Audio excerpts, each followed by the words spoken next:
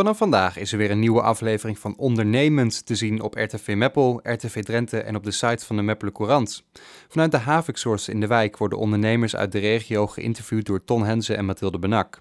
De gasten in deze uitzending zijn Albert Hendricks, directeur Beek of Roogat Meppel, Franklin van Beers, de directeur van Wildlands in Emmen en Astrid Kreuze, directrice van Persister.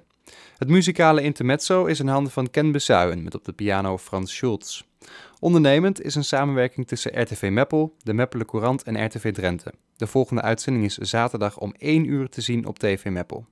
Vanaf 21 februari is de uitzending op RTV Drenthe te zien om 10, 1, 4 en 8 uur.